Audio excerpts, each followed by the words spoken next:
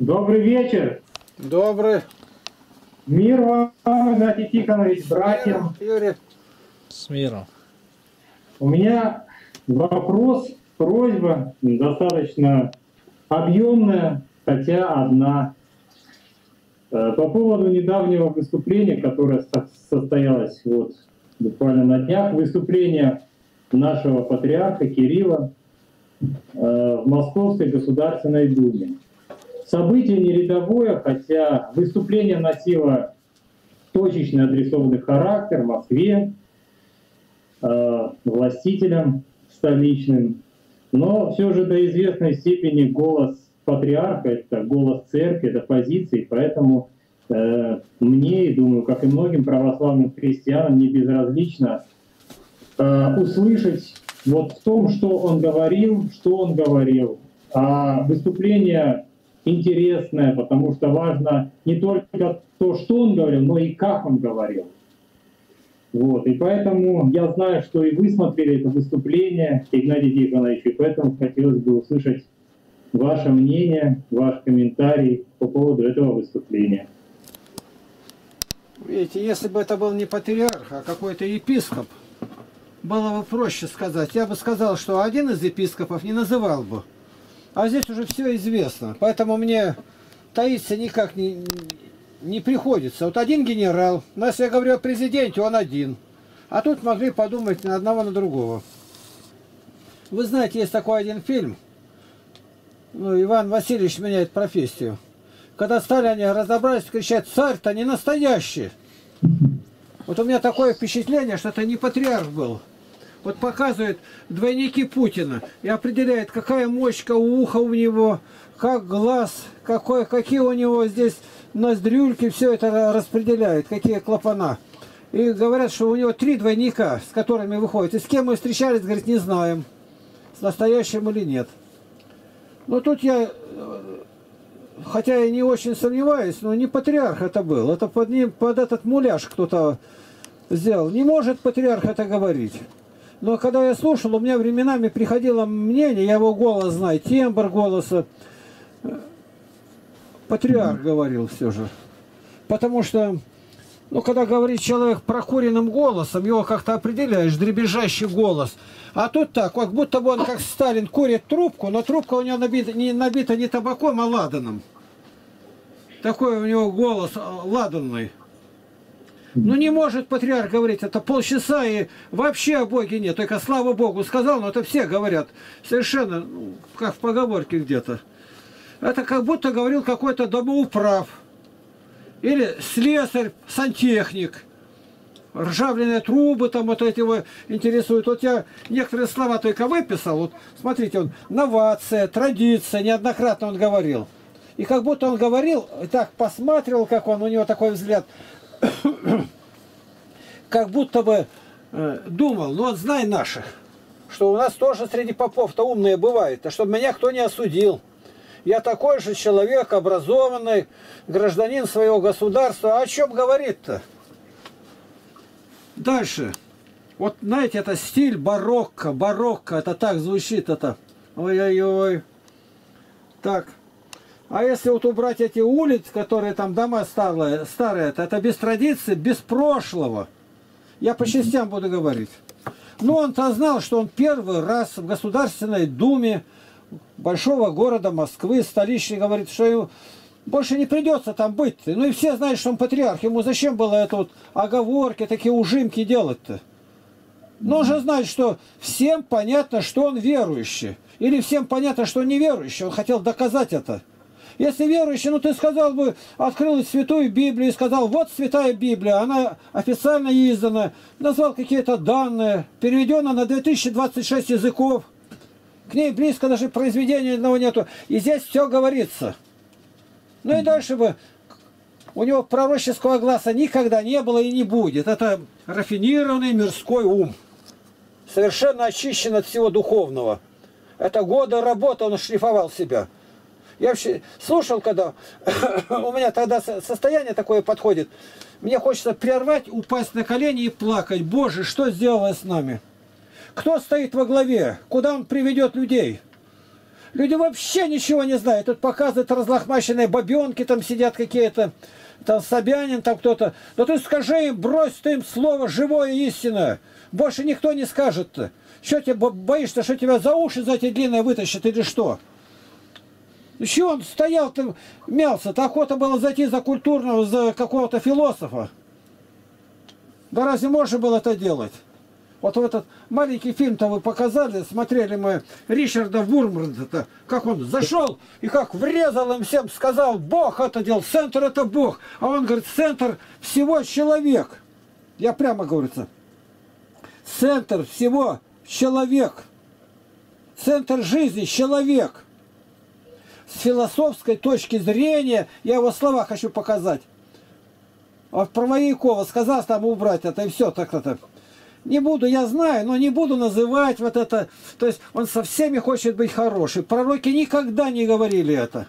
Они прямо вещи называли своими именами. С их именами, э, сидящих перед ними. Не ты ли? И дальше говорили, как Павел говорил, которого уводил. Ты, сын дьявола, враг всякой правды. Ну бросим слово-то и умри. Умри как христианин. Нет этого. Постоял и пошел. Они-то это понимали. А что он сказал? Да говорил о ржавленных трубах, как заменить. Да это слесарь любой скажет. -то. А вот я хожу, когда отдыхаю, где он хочет отдыхает, и там с ним сторож или кто-то, и вот это глаз народа он... Да какой глаз, когда люди неверующих? Где он нашел этот глаз-то? Еще Божий глаз-то. Глаз народа, пропившегося, сбившегося. И дальше говорит. В Думе, думать ЖКХ, это говорит, это капитальный ремонт, это завхоз только думает. Но он-то зашел, зачем туда? Зачем он вообще туда пошел? Если знал, что сказать ничего не сможет-то. Ну, это все вот прочитал, это ужас какой-то на меня нашел. Я еще, думал, что возможно как-то где-то что-то. Нет, невозможно. Сейчас не надо ни на что насмотреть. Вот я открою несколько мест Писания, что он мог сказать. Он бы мог открыть премудрость Соломона, 6 глава, 5 стих. Ну, прямо открыть и сказать. Страшно и скоро он явится вам. Он, Бог, есть всемогущий судья, он ждет. Лерман не побоялся сказать. Что он трепещет-то? И строг суд над начальствующими. Он с вас зыщет за все, что вы делаете. Кому деньги отдали? Батурина и Лене? Пенсию назначил, который до него был, не вызвал доверия Лужков, 256 тысяч в месяц. Ну, разве это годится? Даже не об этом бы говорить надо. Сказать о том, какая катастрофа идет. Со всех сторон страна горит. Покайтесь. Выход в человеке. Покайтесь и веруйте в Евангелие. Но одну фразу повторил бы хотя бы трижды. Как написано в Святой Библии, в Святом Евангелии. Почему он не сказал? Он не знает этого. Ему надо говорить. Премудрость Соломона, 6 глава, 8 стих но начальствующим предстоит строгое испытание. Вы считаетесь начальствующими. Вы думаете, когда умрете, что с вами будет? Где вы будете? На какой стороне? На левой, на правой? Вы Бога-то не знаете совсем. Что вы делаете с народом? Посмотрите, какой ропот везде идет. Он, а он все подговаривался, сказали, у вас встреча с народом, обратная связь. Да он-то встречается где? Пусть он переоденется, снимет с себя все это и пойдет народ, как делал царь как Ульман не сделал президент Латвии. Иеремия 1.17 мог просчитать. А это к нему сказано. А ты припаяшь чресла твои и встань и скажи им все, что я повелю тебе. Я, с большой буквы, не малодушествуй перед ними, чтобы я не поразил тебя в глазах их. Я сейчас ткну тебе в темечко-то, и ты умрешь здесь за этой кафедрой. Хороший дом, вот они построили, стоит совершенно мирской человек. Он не выходил ни разу, не надо было ему выходить. Никто бы не знал. Пусть он в тайне сидит. Никто бы не знал об этой беде. Господь говорит, для чего? То есть ты готов сказать истинное слово. Скажи все, что я повелю тебе. Ему Бог ничего не говорил. Отсюда я сделал вывод, что он с Богом связи не имеет. Нету связи. Неужели бы Бог ему не положил на сердце сказать то, что требуется сказать?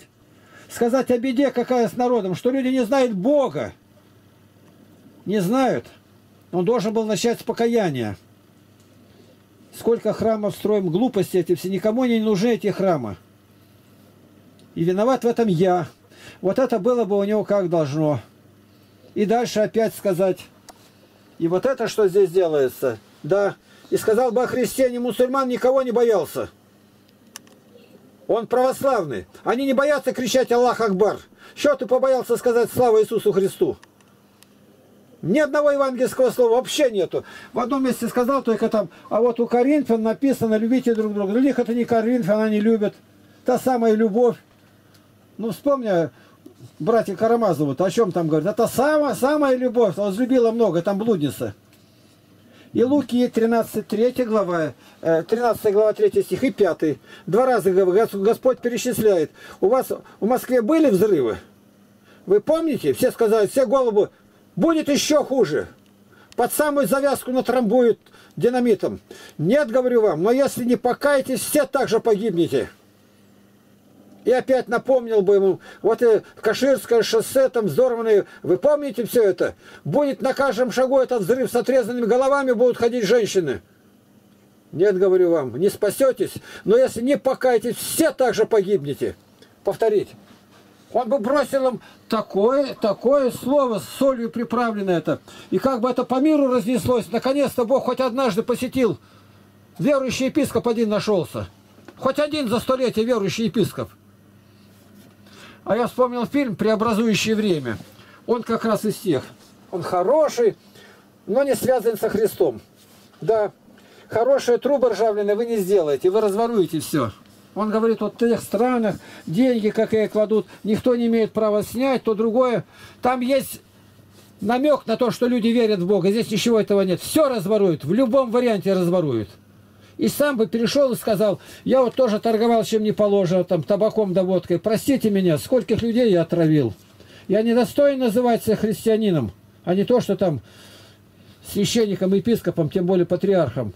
А между мирянином и им сколько разных ступенях-то было. Мирянин, дальше чтец, чтец, и подьякон, диакон. Ну, а дальше что возникает? Дальше пресвитер, протопресвитер, все эти звания епископ, э, архиепископ, митрополит и, наконец, патриарх. Вершина всего. И любой из баптистов сказал бы это, любой. Любой свидетель Иеговы называется еретик, сказал бы, что я говорю. Он не сказал. Он бы увидел плоды от того, что он был и не говорил. Хорошее, давайте будем, то другое. Вот преобразующее время-то, он прямо здесь и записан. Прямо в это и заходит. И поэтому Первый вопрос, он ли был? Все подтвердят, что он. Я уже знаю это дело.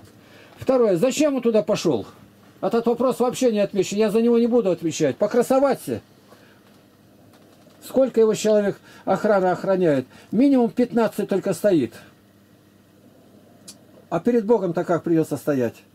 Сколько людей сидит здесь? И можно было сказать, вы бездумная дума. Вы плохо думаете, потому что посты не соблюдаете живете по-мирски, живете блудно. У каждой женщины, у мужчины сколько абортов за плечами. Страна трещит, не поможет ничто. Страна такая не нужна ни людям, ни Богу. Мы все стоим на краю гибели. О чем вы рассуждаете? Вы думаете, как покаяться, как изменить свое отношение к Богу. Центр жизни Христос. 1.21 переписан. Для меня жизнь Христос и смерть приобретение. Он бы бросил эти слова-то, чтобы услышали. Для Бога надо жить, для Бога. И вот это, если бы он начал им говорить, я думаю, было бы изменение какое-то, хоть в одном человеке. Ни у одного ничего нету. С какой целью пошел? Показаться, чтобы они не забыли, что есть патриарх. Да многие не знают, что два патриарха есть. У новозыбковских старообрядцев тоже патриарх Александр есть. Грамотно учился, в 115 странах был. Ну и что? И где ты возвестил? Ни в одном месте не проповедовал.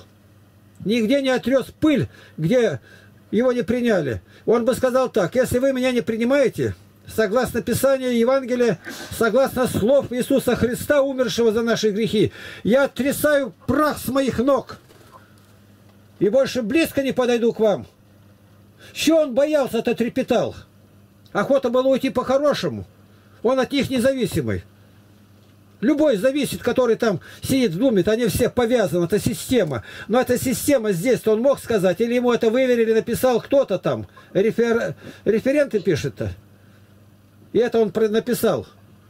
И спрашивают, а он ли это сказал? Я не могу на этот вопрос стопроцентно ответить. Но очень похоже на патриарха был.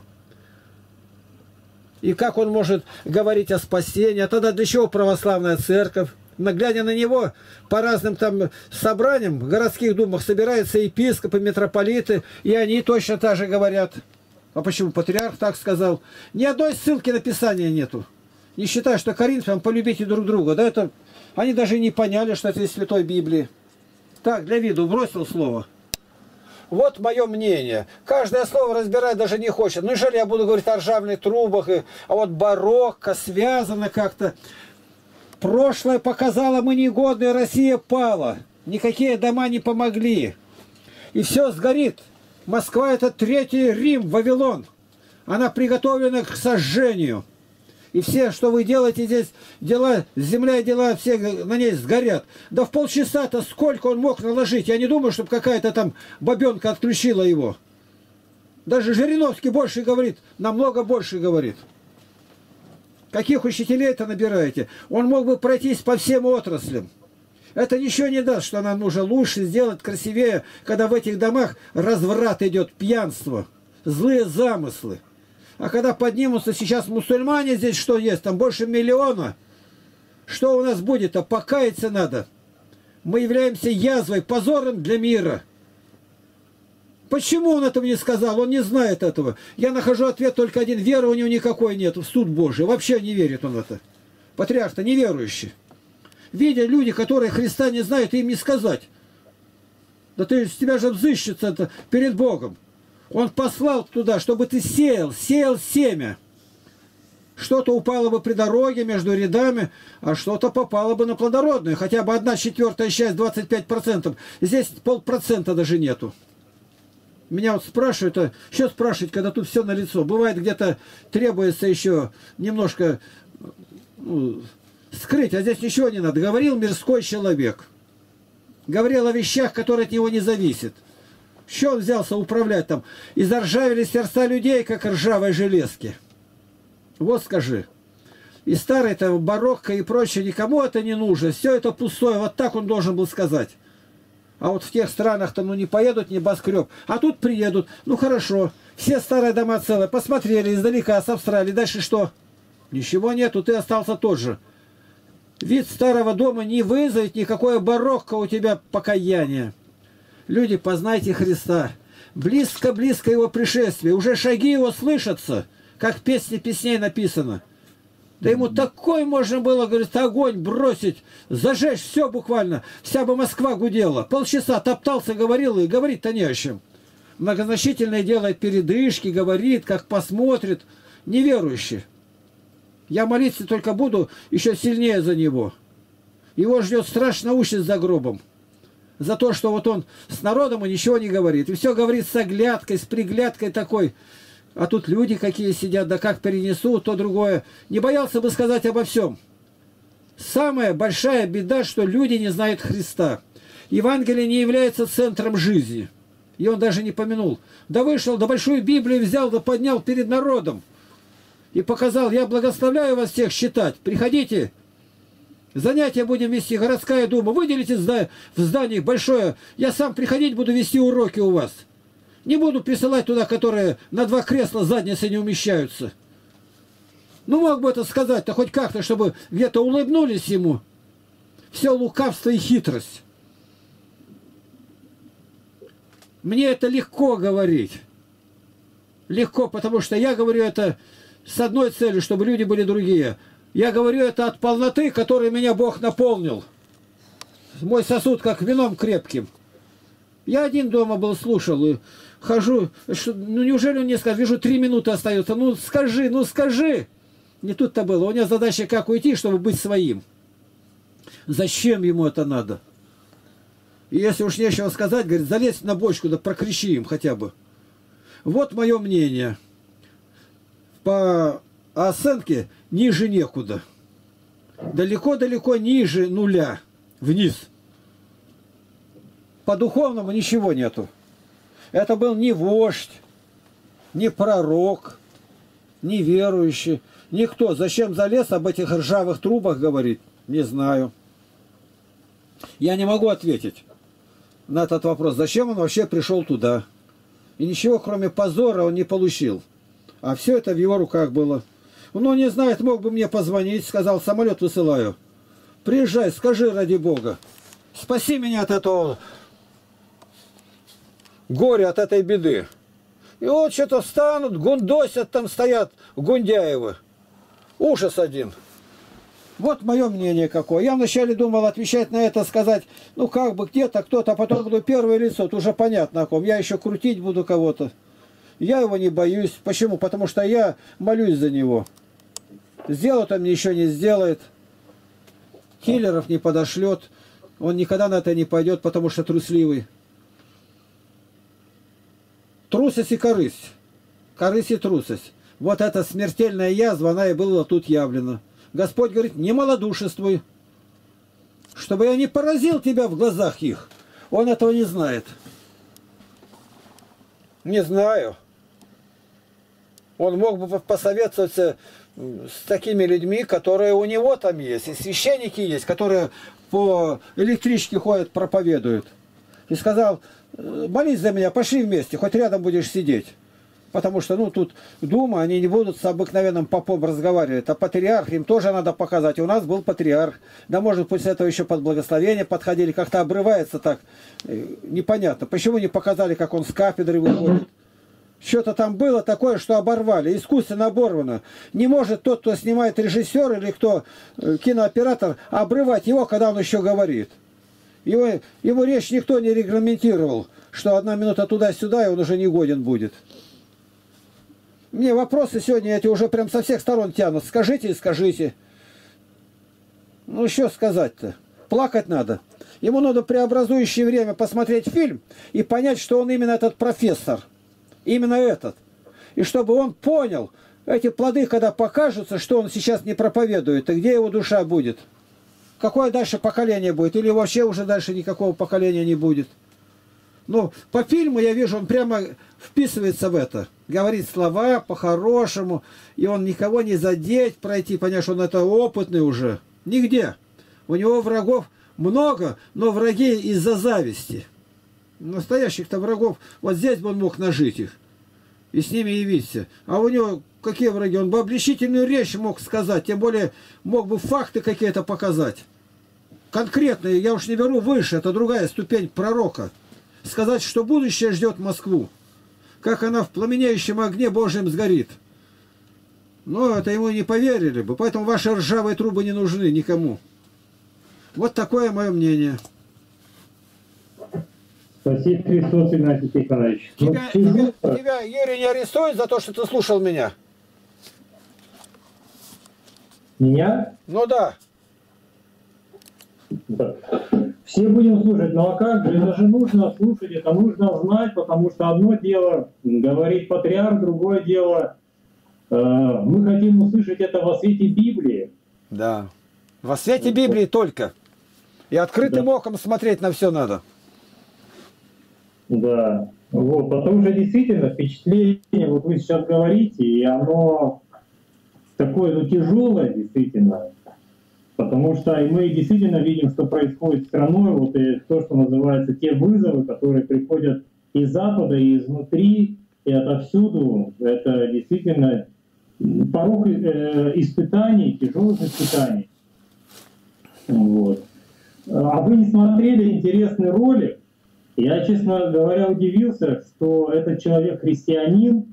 Я впервые услышал, ну, я искренне порадовался этой речи из уст чиновника и никакого губернатора, из уст Амана Кулеева, как он говорит о Христе. Вы не слышали? Нет, не слышал. Я вам скину, это очень удивительно. С кафедры, сколько он говорит о Христе. Я думал, неужели он христианин? Он, оказывается, действительно христианин. Я впервые такое слышал. Это очень дивно. Я вам потом скину ролик. Просто изумительно. М. Вот. А, я- Можно еще? Ну, ну, Ага. а вы видели, как там Аристарх-то его запрашивал, чтобы мои книги убрать, и Тулеев приказал убрать? Аристарх? Нет. Аристарх, Кемеровской области, митрополит. А он никак не может мои книги убрать из областной библиотеки, а они же бюджетники. Он обратился к Аману Тулееву, и тот дал указание книги Лапкина немедленно убрать. Так они с какой радостью теперь директорат иначе снимут их. Мне это все сообщили.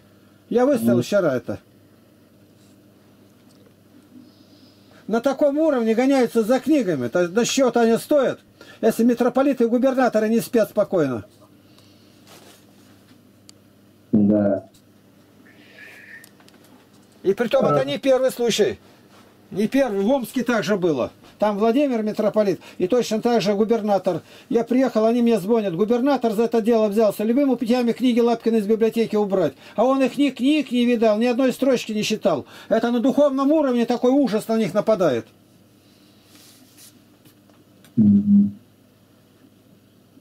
Да. На самом деле я бы вот э, рекомендовал э, всем христианам и не только христианам вот открыть ваши книги, посмотреть. Вот э, чего пугаются, либо против чего протестуют. Потому что ведь по большому счету, вот если вот эти 38 томов, если их сократить, ну скажем, там ну, 60% это ведь все э, Святая Библия, это все цитаты из Святой Библии. То есть там, по большому счету, протестовать против книг открытых оком, это протестовать против Святой Библии. Да. Я так разумею. Да. Вот. У меня, если позволите, еще один вопрос. Вот Давай. такой час э, по священному писанию. Э, вот очень часто э, в речи христианина проскальзывает слово «судьба». Более того, даже в толковании блаженного Феофилакта он употребляет слово «судьба». Но это слово вообще-то языческое. Вот вы иногда, я обратил внимание, используете другое слово, там, «планида», Да.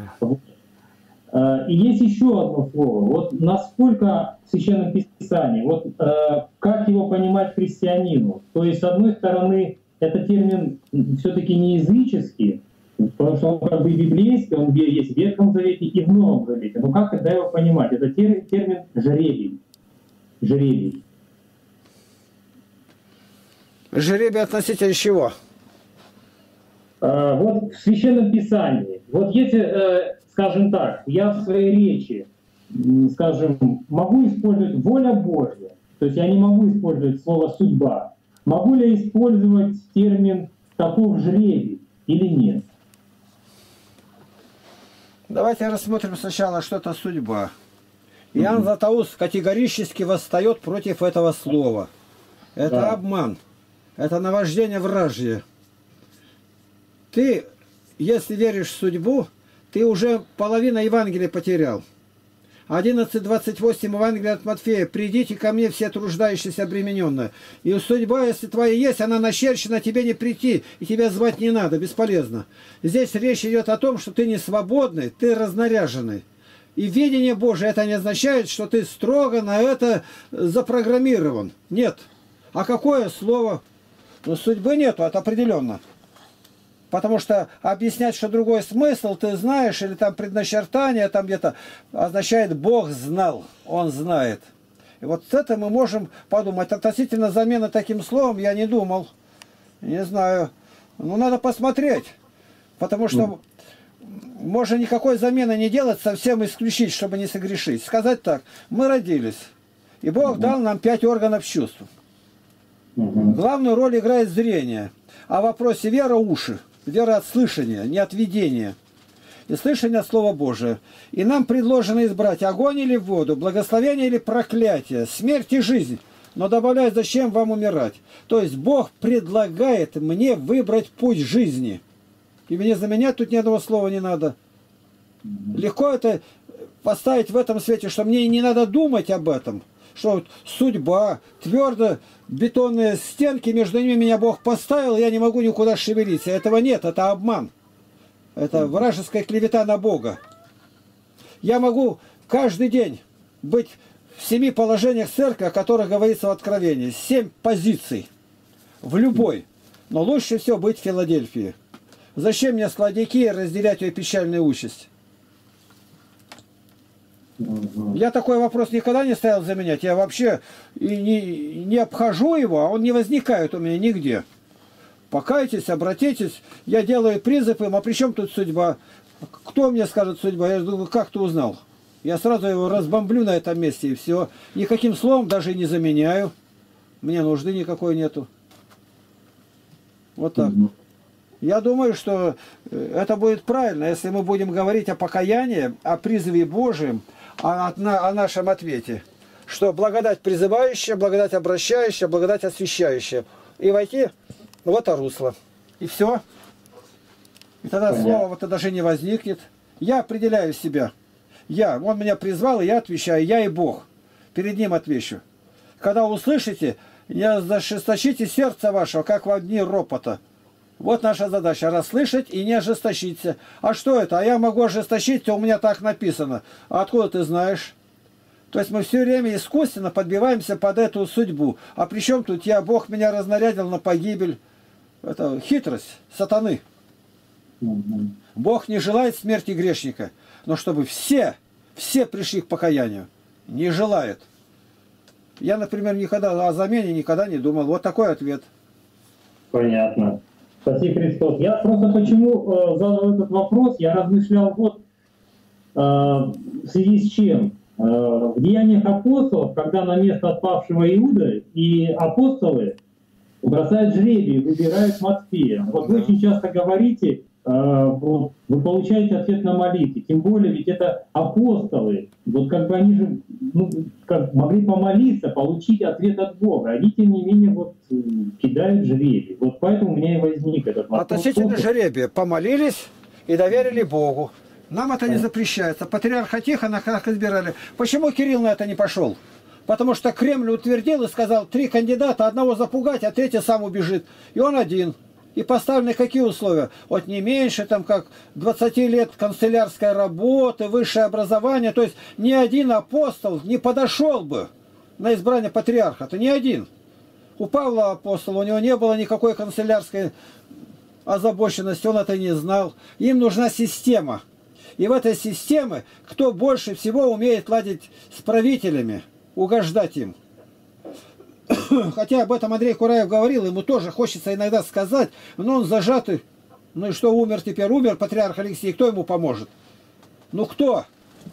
Я вчера посмотрел, маленько позанимался. Жена Жаклин Кеннеди, убитого Кеннеди Фиджеральда, вот, она прожила 64 года. Все в руках, миллиарды, за Анасис это вышла она. За этого судовладельца-то. Ну, и он 69 лет, 70 лет даже не прожил. А уж все-все есть. Ничего они не видели. А у меня отец весь изорванный, без руки, и прожил 75 лет. И постоянно жили просто на, на краю нужды великой. 10 детей, совершенно безграмотная с матерью. И прожил 76, а мать 86. А это 64. Все, ничего нету. Я вот гляжу эти, которые артисты, другое, только одну нашел, которая, она играла жену, это Кама Гридеши, 51 -го года выпуск был фильм, это его с сегодняшним даже сравнивать не надо, 2001 года польский, он карикатура на это, на Синкевича Генрих, это Кама Гридеши.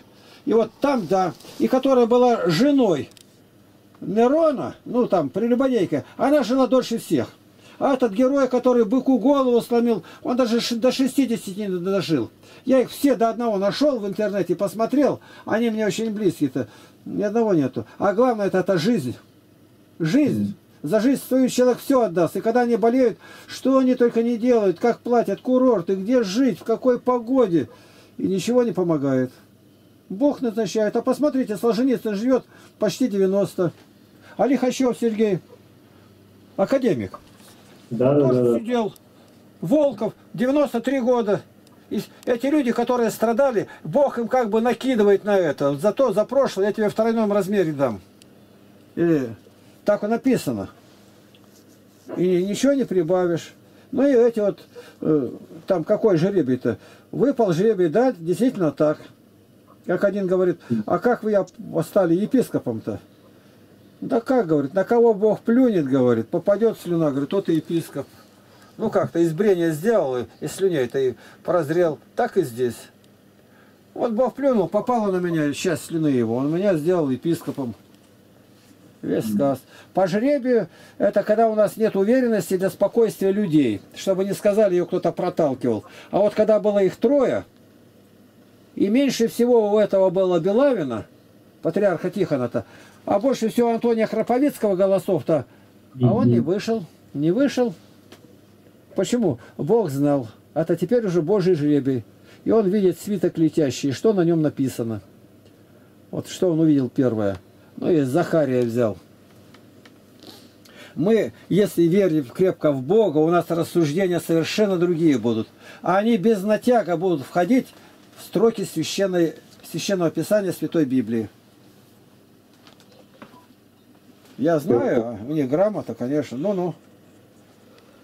Все понял, Игнатий Тихонович, понял. Э, ответ на этот э, вопрос, потому что вот он как бы стоял, с одной стороны, да, понятно, это воля Божья, но все-таки вот это вот, Да. этот термин, вот, теперь я его для себя разъяснил. И это избрание. Мы избранные, избранные.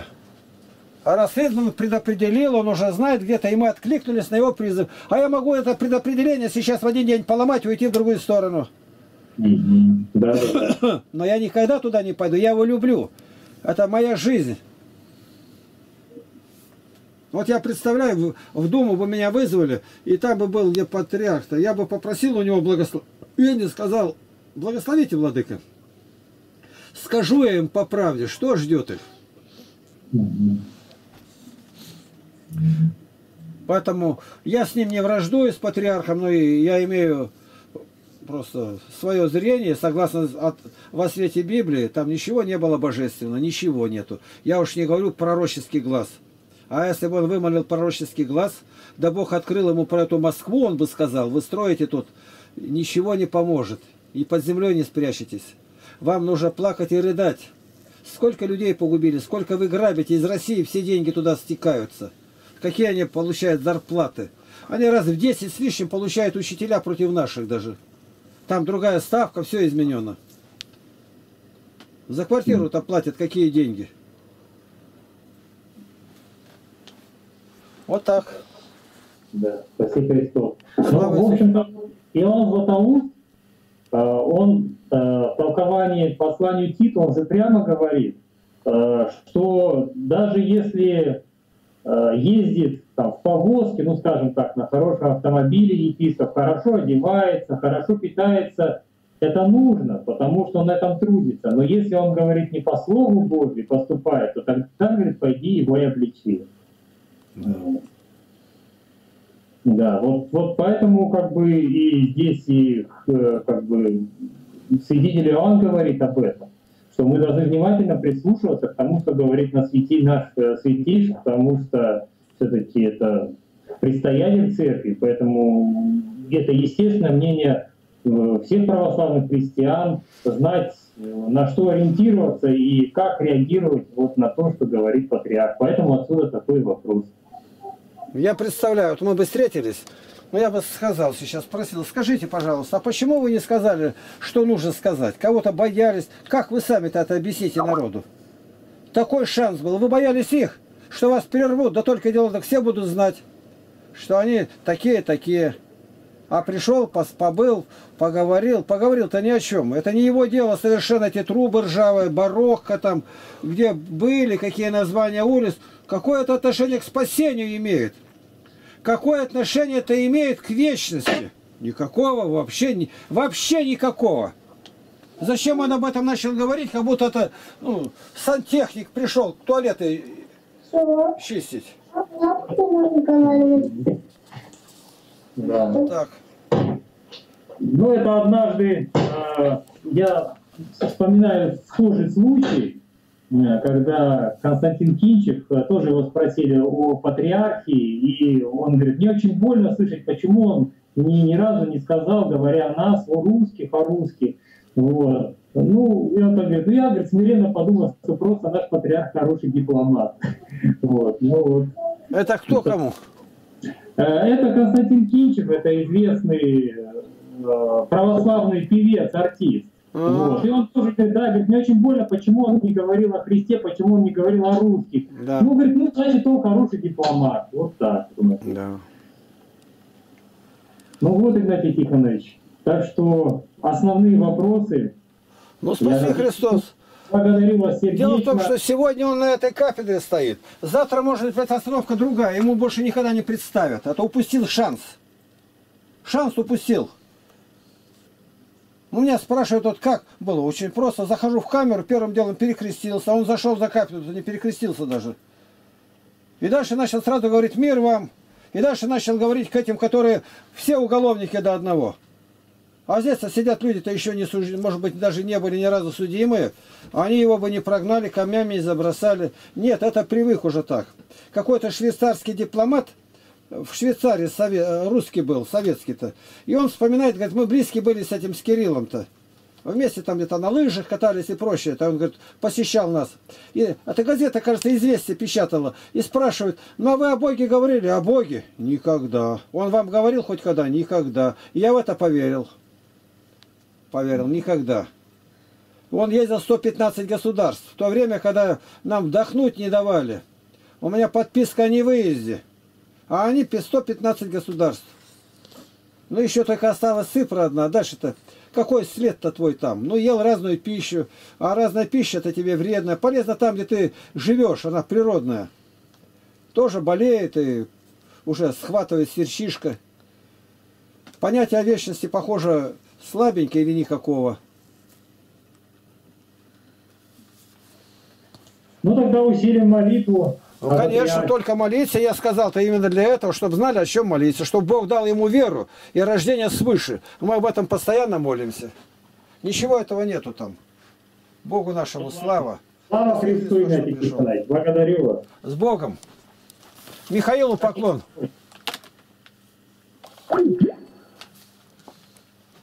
Давай.